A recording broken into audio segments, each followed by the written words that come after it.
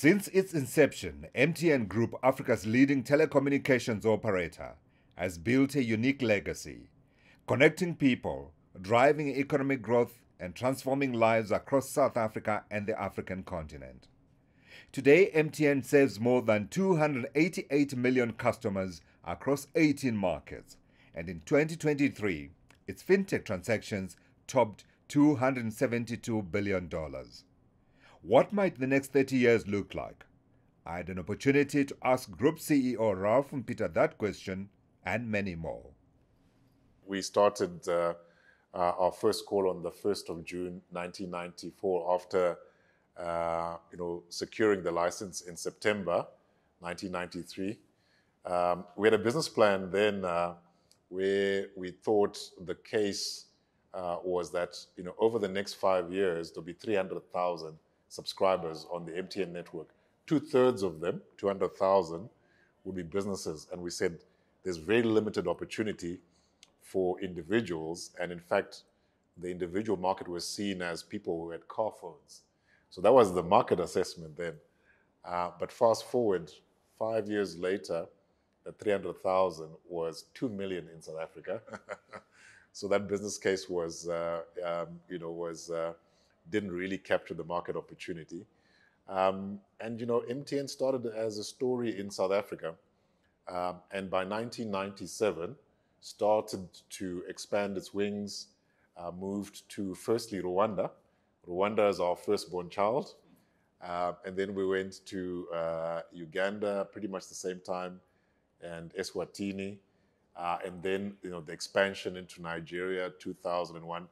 And then the rest is history. So um, it's been a journey uh, that has been amazing uh, in seeing us from you know, this company that now has 288 million subscribers. So to your question about the impact, I think uh, telecommunications more generally has transformed um, the global south. If we think about where we came from the early 90s, you know, teledensity, the number of people who have a fixed line uh, in most African markets was very low. I mean, uh, Zimbabwe was 1.2 um, uh, telephone lines for 100 people. South Africa was 8.9. Most African markets were like 0 point something.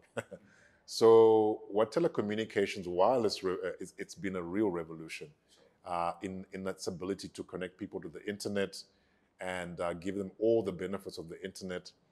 And what we've also been able to do as MTN is leverage um, the capabilities, skills, and brand that we had to launch mobile money in 2009. And we now have 288 million subscribers using our network regularly, and we have 63 million people using mobile money. So the socioeconomic impact has been significant. We are, in most markets, uh, ex-SA, the largest taxpayer, yeah. uh, one of the biggest employers, um, and uh, we're number one or number two in our market. So the socioeconomic, um, you know, um, benefits uh, we would like to believe that MTN has delivered in, in the various host markets, yeah. you know, has been significant. Yeah. People, experts talk about uh, telecommunications now as uh, the new infrastructure. In the past, we spoke about roads, railways, yeah. but now people are talking about telecommunications as that other backbone that an economy needs. Just talk a little bit about uh, how you see that and how you see the role of MTN. Yeah, if you think about it today, everything is connected to data networks. Um, I mean, we think of ourselves as building base stations, fiberizing the networks, connecting people, connecting businesses. But if you step back from it, um, you know, um, wireless communication has become critical national infrastructure. Um, you know, every bank is having transactions flowing through our network. Hospitals depend uh, on networks being uh, on schools, just general society is underpinned by wireless telecommunication. And now the line between wireless and uh, fixed is blurring as we move into this 5G era. Uh, we're seeing a, a, bit more of that bl blurring. But, you know, it is the new uh, and most important form of critical infrastructure. I mean, roads, rail, airports, ports, etc.. still have a role to play. Uh, you know, no doubt about that. Yeah. Yeah. But what is really transforming societies, and again, I come back to the point about societies in the global south, like in our markets, is the role of the digital economy. uh, you know, to drive, uh, you know, uh, you know, socioeconomic growth. So, you know, it's a very interesting form of infrastructure yeah. that is almost a public good, but provided by private capital. Yeah. Um, there's very little that looks like that anywhere in the world. So, um, in today's world where the digital economy is powering growth, um, you know, wireless networks, uh, fixed networks, you know, are the bedrock uh, of any society. Yeah, and it's not a journey you've made alone, right? You've had stakeholders along the way, right. partnerships that have been critical in the growth of the company. Yeah. Let's talk a little bit about their impact and who they are. No, I mean, um, in in the the success and progress of MTN over the last 30 years, I mean, there's a broad stakeholder group. Um, I mean, the customers are the most important. If you think about, you know, these people trust us to, uh, um, you know, to be reliably uh, uh, connected onto networks. Um, and we've built, as I said, the base of 288 million to date across our 18 markets. Um, the regulators in the markets who create the regulatory frameworks that enable us to operate, uh, you know, these are, have been critical. The host nations, uh, every country we operate has an ambition around its own strategy where they want to take uh, their people to. We try and align ourselves with that. Um, and so they've been critical in enabling us to grow uh, and to do everything we do, to invest in the networks, um, and uh, to be able to repatriate dividends and all of those good things. Um, you know, um, and in most markets, actually, we've gone in with partners. Yeah. We have gone into new markets and found locals to partner with, and I think that's probably been the most unique thing about MTN. We have not wanted to go into a market without local pa- partners. Um, our staff, um, I think one of the things that makes MTN unique is we're a truly Pan African organization. Sure. We have 70 nationalities in this company. Oh, wow. 70 nationalities.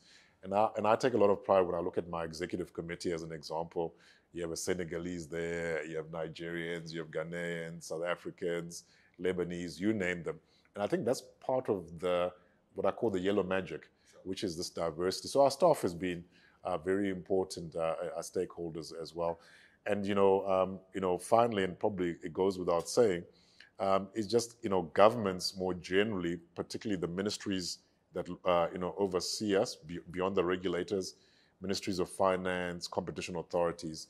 Without that whole uh, setup of stakeholders, I don't think MTN we would we wouldn't have made this progress. Yeah, and 30 years of building the largest African telecommunications company. I want to talk about what the next 30 years or what uh, the MTN group of the future looks like. Yeah, look, we rest on the shoulders of giants. Many uh, MTNers, uh, CEOs and their teams and boards, etc., before my time. And it's uh, it's it's always a little bit easier when somebody has done the hard work. Uh, not that the hard work has ended, but but um, but as we look forward, um, we're excited about the future, Godfrey. When we see uh, the demand for data and internet services and what the internet can bring to drive socioeconomic progress. So we still see waves on waves of data growth. Um, the big wave we see now is consumer. We think enterprise is the next. Uh, 5G in our minds is a big uh, industrial application uh, for business, smart cities, safe cities, ports, logistics, mining, safe mining. So there's another wave of growth on the enterprise side that we're seeing and I think we're just beginning. Fintech, I think we're only beginning right now. We are very far from saying the job is yet done to include more Africans. We're going to play in infrastructure, um, but in a partnership model.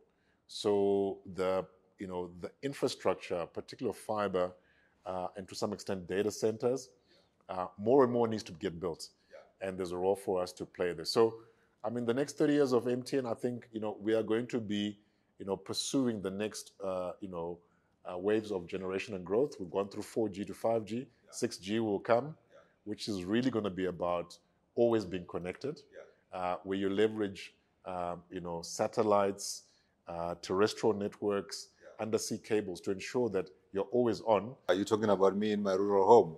You, in your rural home, you'll have a high-speed connection. That time is coming and it's going to be affordable. And we'll be balancing terrestrial networks with, um, uh, with LEO satellites. When you go to your rural area, your home that you love so dearly, yeah. uh, you, you'll be connected. But it'll be the combination of all these forms of technology that create this um, I'm always on, yeah. this ubiquitous, always connected uh, with a good quality connection.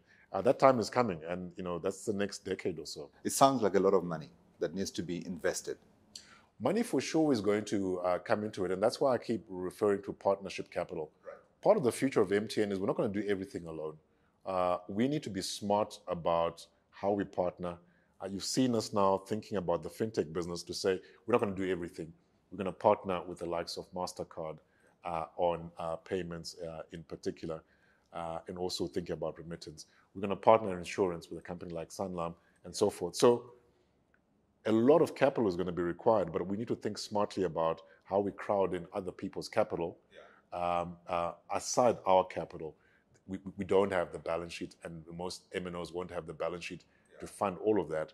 So smart partnerships are going to be the real deal uh, going forward. And that's uh, something that we know we need to do.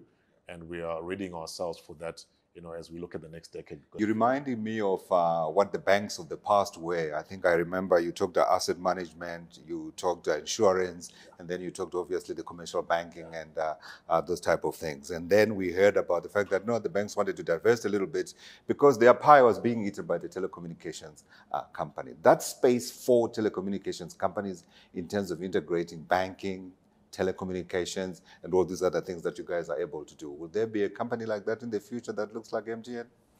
I like to say that we don't compete with banks, and uh, you know most banks uh, uh, agree with me, but some, uh, sometimes we don't. What we're trying to do is, I think about what we're doing as financial inclusion. We're including those who've been left out, uh, you know, um, you know, because they, they, they are quite limited in uh, their financial resources. So, um, you know, Godfrey, I would love for you to be a customer of ours uh, in our mobile money fintech business, but you're not the traditional customer because you're well banked and uh, well served. So where we're going is where people are underserved, and that's why we think of what we're doing in fintech as financial inclusion. Is we go and we talk to that customer who can spend, uh, or, you know, a dollar, you know, maybe two dollars fifty maximum on financial services a month. That's the customer we're after. So you know traditional banks and insurance companies do not get to those customers. They will not make an economic return because of the infrastructure they need to build. But what we've been able to do is leverage uh, our capability, our distribution, uh, the technology that we have to get to those customers. For sure, over the next five to 10 years, what you're going to see is a much more amplified experience of, um, of our fintech business. Uh, so it'll start looking a bit like banking. Sure. But that customer that we're dealing with, uh, their, their needs are quite different from ours. And, and we see that mostly when we're outside of South Africa, when we look at across our markets.